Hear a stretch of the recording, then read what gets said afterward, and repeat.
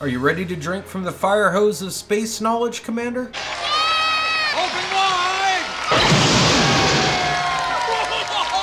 But before you take a sip off the fire hose, make sure you head over to the training section and complete the training simulations as well as the challenge scenarios. This will teach you how to take off and land, plot courses, and do combat, which is very important if you want to have the very best start that you possibly can.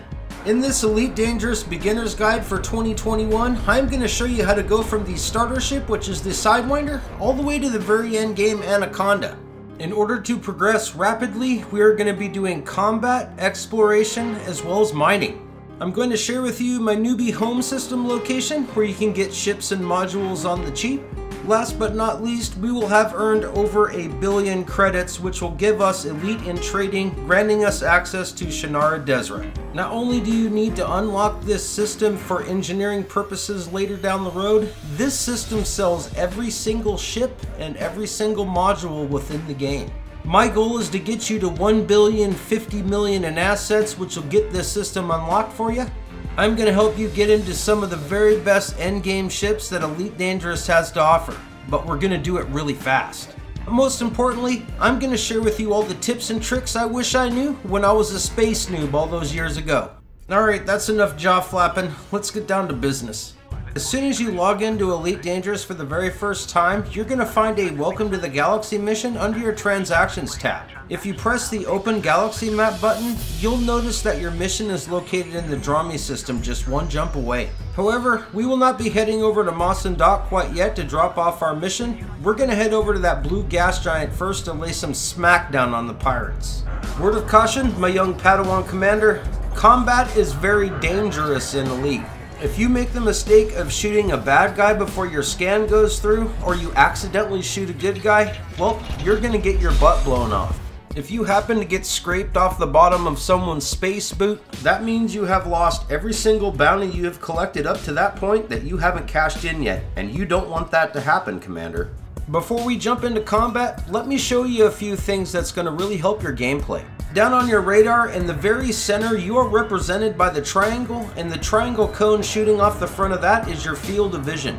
The next thing that you'll notice is you have multiple boxes and triangles attached to little sticks going upwards and downwards. Targets attached to sticks going upwards means they are above your field of vision, and the ones that are attached to sticks below means they are below your field of vision. A solid square and a solid triangle represents an NPC pilot. A triangle means that that target has their weapon points out. The grayed out boxes represents a FSD trail when someone warps out of here, or an item that you can actually physically pick up in the game.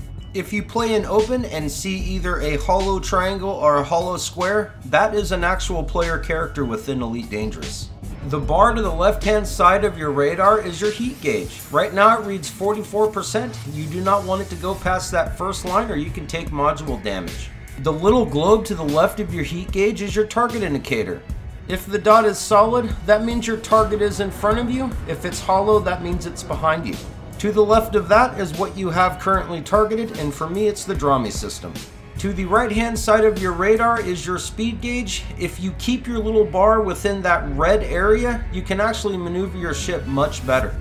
To the right of that will be an icon of the current ship you are flying right now, as well as your shield strength and your hull integrity. Next to that will be your distributor power output for system engines and weapons. I highly recommend that you make hotkeys for each one of those so you can easily switch power between each one when you need it. Last but not least, you have your fuel gauge, your mass lock, landing gear, and cargo scoop indicators. Your main weapons fire group should already be set since you haven't changed out your weapons. You're going to have pulse lasers on one.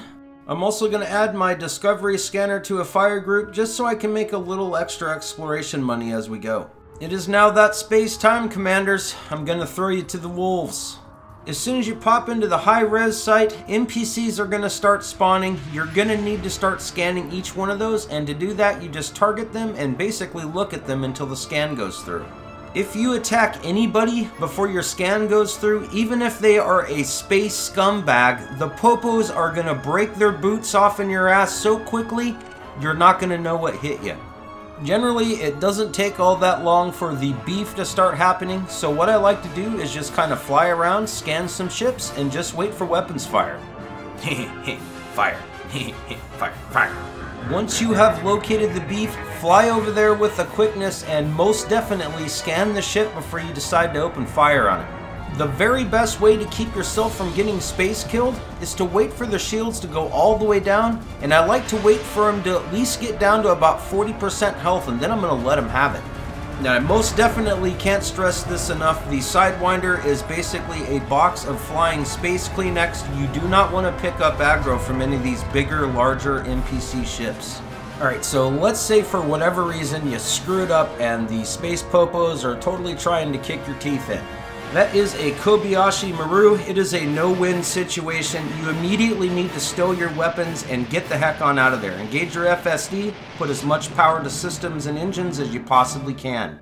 If you were lucky enough to engage your FSD before you blow up into space dust, what you'll want to do is open up your navigation panel and find a system that will be represented in green. This means it's a low security system and you can pay your fine there and get right back to the action. Now there are a couple more things I want to cover before we get on to the Exploding Space Pirates compilation.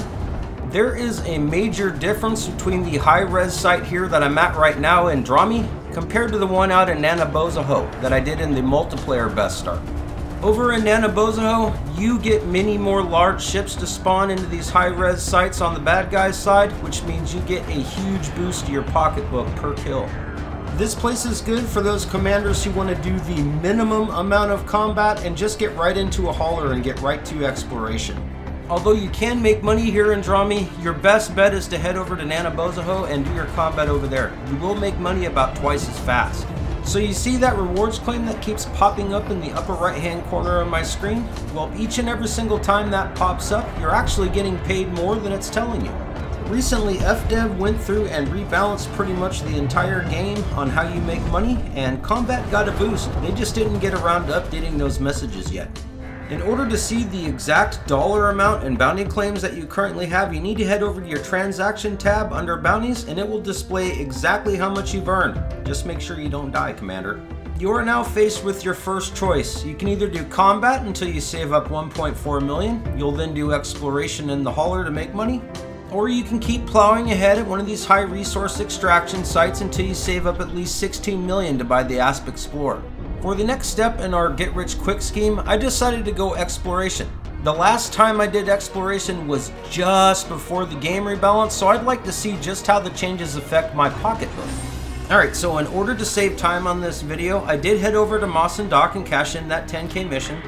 Immediately I had another option for 100k, Welcome to the Galaxy, which sent me over here to Lamrak Orbital in the Nani Nani Boo Boo system. Now that 100k mission might not sound like a lot, but the main thing about that is when you turn it in, you actually get faction with the people that send you out on wing and personal pirate missions, which will give you even more missions to select.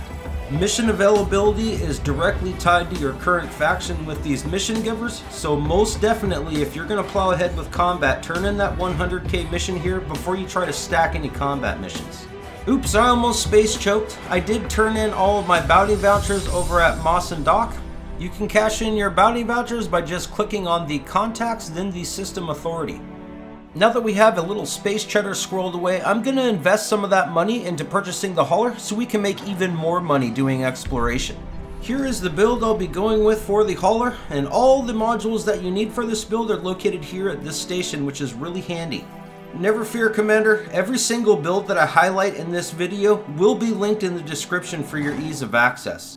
Now that you have your hauler completely pimped out and ready to go, it is now time to set up your fire groups and all you really need to do is just set up your discovery scanner as well as your detailed surface scanner. Now that you have your hauler completely and totally pimped out for making money, it is worth mentioning that I have already completed a guide called The Road to Riches, which is how you make money via exploration in Elite Dangerous. I will gloss over exploration in this video, but I highly recommend that you check out my Road to Space Bucks. Now you're not going to make a lot of money quickly unless you know exactly where to go, and that's where edtools.cc comes into play.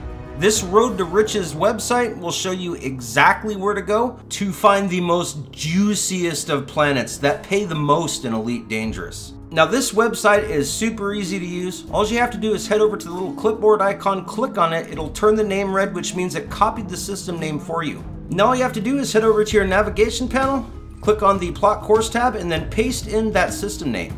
Here we are in system number one, and it is a bit weird because the planet location says conversion, so I guess I'm just gonna look at the system map and figure it out on my own. Well, that was really easy. It's obviously number 4 because it said it was an Earth-like world. In order to make that planet really easy to find, make sure you target it in the menu. Now that you have that juicy Earth-like world targeted, it's really easy to use your targeting globe to get right centered on the planet. At this point, you either want to use your Discovery Scanner right now to honk the system, or you can just engage your FSS once you slow down.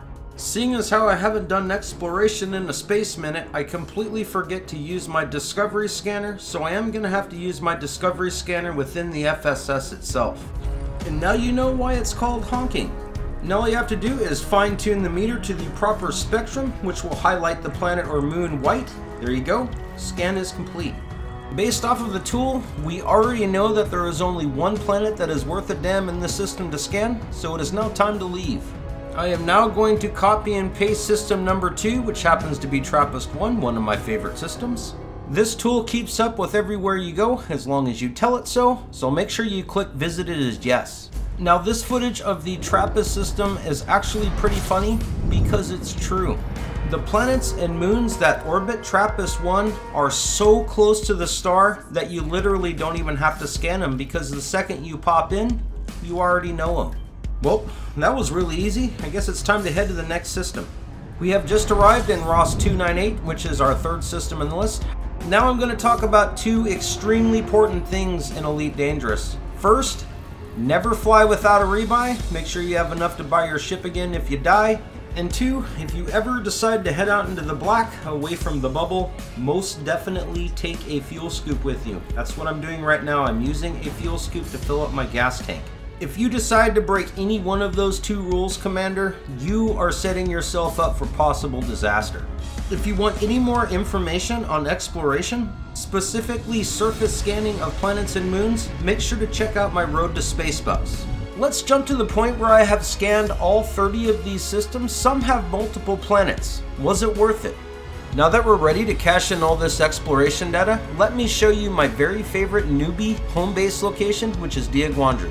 So why is Ray Gateway in Diaguandri so glorious? Well, it's quite simple, my dear Watson. First off, it's located in Lee Young space, so you get a discount on all ships and modules. All of the ships and the majority of the modules we will be needing to purchase in order to progress quickly can be bought right at this station. Diaguandri itself is located in a great place within the bubble, and last but not least, there is a material trader located here.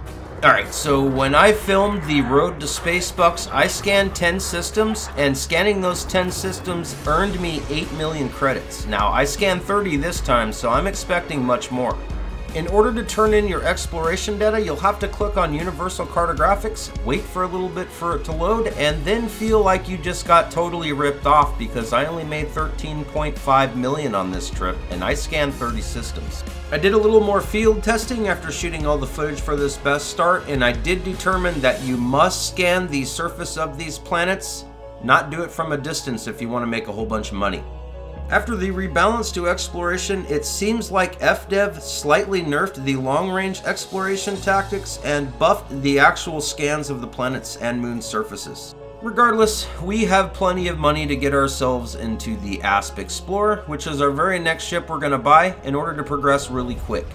We will now focus our efforts into mining. Now you're going to have two choices and it totally depends on the price, but you can do either laser or core mining market prices for these precious minerals kind of have an ebb and flow. Like they'll suck one week and then they'll be glorious the next. Well, right now, pretty much all laser mining locations suck except for platinum. Mining platinum in this ship will not make me the money I want fast enough, so we're going to go to my go-to place, which 95% of the time is the very best place to mine in the game, and that's the Double Muscovite Hotspot.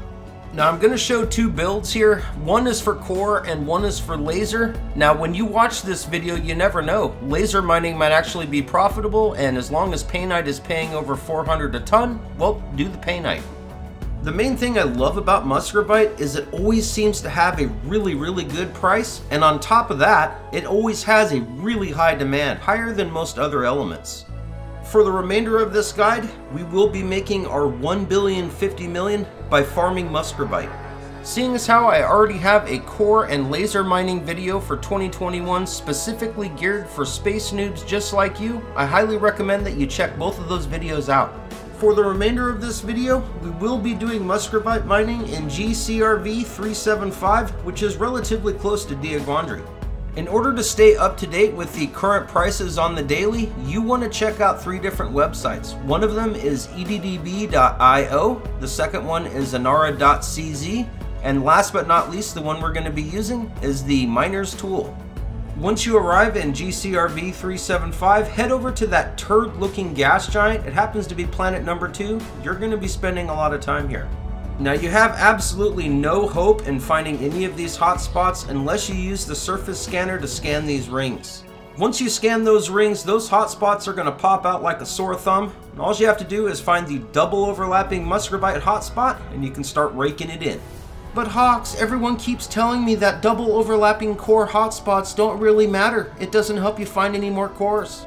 That might be entirely true, however my RNGesus is really good here, so I just come here. It's like the best spot that I've ever mined for muscovite, so it is what it is. Now that we're in the field and we are ready to do a little bit of mining, let's go over the fire groups. Now I won't need my discovery or detailed surface scanner while I'm doing this, so I'm just going to get rid of them. For fire group 1, we will have our pulse wave analyzer on 1, prospector on 2.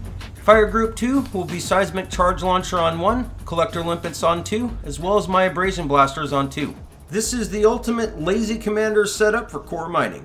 Not long ago, I created a very detailed guide on how to do muscovite mining right in this exact same ring, so I highly recommend that you check out that video. I am going to gloss over the core mining just like I did for the exploration. As you can see right now, I am in the third person camera mode and I'm just kind of looking around using my detailed surface scanner and right there is a core. Notice that shape. Now I'm going to tell you right now, hunting cores takes a little bit of practice and most of that practice is just figuring out the shape. Now, the brightness sometimes doesn't really matter because a lot of these smaller rocks are going to be just as bright. What you mostly want to focus on is that shape as well as all those black grid-like patterns that keep on popping up every time I hit the pulse wave and eventually they highlight into really black patches like that and then flash back to a bright yellow. Only core asteroids will do this, but if you want to make sure that you're not wasting a prospector limpet, just look on the surface, you will find fissures all over the place. Right on, that's the pepper. That's exactly what we're looking for, a muscovite core. Now keep in mind, just because this is a muscovite hotspot, it doesn't mean you're only gonna find muscovite cores. There are gonna be multiple other types out here in the field. Muscovite though, is worth the most, so that's what I'm going for. And just a second ago, you noticed that I turned on my night vision. That really helps highlight these fissures that are sprinkled all over the surfaces of these core asteroids. Time to crack this puppy open. I have a low strength fissure targeted and I did a full charge with the seismic charge launcher. Now I'm hoping I can find another low strength really close by and do the exact same thing. Uh, unfortunately, I didn't charge it up all the way. It was just past three quarters. So let's find one more fissure and then I'm just gonna tap it. I'm just gonna barely put any power into this at all. Once you get that detonation yield and that two bar strip right down the middle, you are ready to detonate your charges. Now make sure that you back away at least a kilometer or you can get caught up in the explosion and blow yourself up, Commander. Ah, that never gets old. It is now time to open up your cargo scoop, and don't worry, by this time you won't have any pirates picking on you. Then you just go out with your abrasion blaster and blow off all the surface chunks so your little collector limpets can pick them all up for you. The one thing I do really love about core hunting, besides the skill of it all and seeing all those explosions, I love the explosions, is that these chunks that I'm blowing off are freaking ridiculously huge. They are worth almost a ton each, which means you are going to fill up very quickly opposed to doing laser mining. Now don't get me wrong, laser mining can rival this amount of money only if the prices are right, and right now they're not. So in a nutshell, the ultimate two tips that I'm giving out in this video is using the third person cinematic camera to locate cores, as well as getting used to that unique shape they have. A Muscovite core will always be this shape, it will always be this bright, and it will always highlight those really black grid-like patterns when you get close to it. Alright, one more explosion because I love them. then let's cut to the chase where I got my whole cargo filled up. It looks like we are going to be leaving behind a bunch of extra muscovite, which is unfortunate, but oh well, we are completely topped off right now. It looks like our vacuum moss is paying the highest dollar amount per ton, so we're to go there. The unfortunate thing is, the very next day they spiked at over a million per ton. Here we are at the sell location. Total time in the field from taking off in Diaguandri to landing here was 45 minutes. That's pretty good considering this sell location is 151 light years away. Keep in mind, Commander, I am a pro. I'm pretty daggone good at finding these cores and getting them busted and back to the sell location quickly. You can do that too once you get the practice in. Now notice how I'm getting paid a little bit less than what the miner's tool told me? That's because other commanders are beating me to the punch and selling their muscovite here just before me, which is going to lower the price a bit because there won't be as much demand. But yeah, I'm not going to complain too much considering less than two hours ago and two trips later I went from 2 million to 118 million. Hell yeah. Once you have completed your second trip doing muscovite, it will now be time to purchase the glorious Python. She is most definitely your ticket to the Billionaires Club. She might not be the most beautiful ship in the world, but she does one thing exceptionally well. She's one of the best mining. What in the bleach? Any bleach. Ah! Good luck on seeing that one. Like I was trying to say before, the Python is totally glorious at mining. It can actually carry three times as much as that asp. And as long as prices hold out, we're going to be able to get to Shinrarta Dezhra in six more trips. Alright, so seeing as how we're basically doing the exact same thing but in a Python, let's go over the Python Jack of all trades build.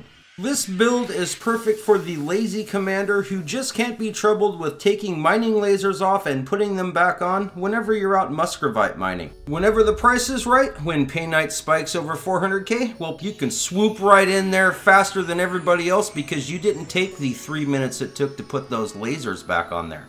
Cha-ching, cha-ching, cha-ching, cha-ching. Uh, yeah, I forgot to record. Almost bought the Anaconda. Cha-ching! There you have it. By trip number six in the Python, we have reached elite in trading. But because I'm greedy... There's always room for one ah. more. Cha-ching! Jesus, I'm tired. Let's say we get our butts on over to Shinrarta Dezhra and treat ourselves to two brand new ships. So you made it to Jameson Memorial, which happens to be the coolest place to base out of in Elite Dangerous. So really, what should you focus on next? I highly recommend that you put serious thought into banging out all of your engineers as quickly as you can. And the good news is, I have the most glorious engineer's guide that is on YouTube, so make sure you check that out as well as work on checking out the Guardian sites. They have a lot of really useful upgrades. And hell, while you're doing all that, you can also work on your faction with the Federation as well as the Empire and get yourself the Cutter and the Corvette, which are absolutely badass. Once you have all that stuff sorted, you then have my permission to start saving up for your fleet carrier. Keep in mind it's going to cost 5 billion to purchase it, another billion to outfit it, and you're going to need some spare cheddar for its upkeep. Getting your hands on the Anaconda used to be considered winning the game. Unfortunately now, it means getting a fleet carrier, but this ship is still pretty daggone awesome. I love it. This is kind of an optional purchase if you want to play in open. Go ahead and snag yourself a Type 9.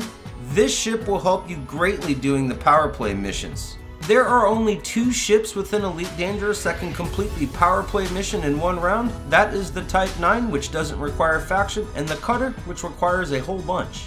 It is now time to take out my freshly bought Anaconda for a joyride. Man, this is just like the very first time I bought my Anaconda. I got goosebumps. I'm super excited. I went through the struggles to get here. Now I get to reap the rewards. Seriously, thank you for taking the time out of your day to watch this video.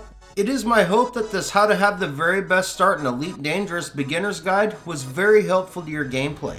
If it was, please consider subscribing to my channel, giving this video a like, and commenting down below on how helpful this guide was to your gameplay.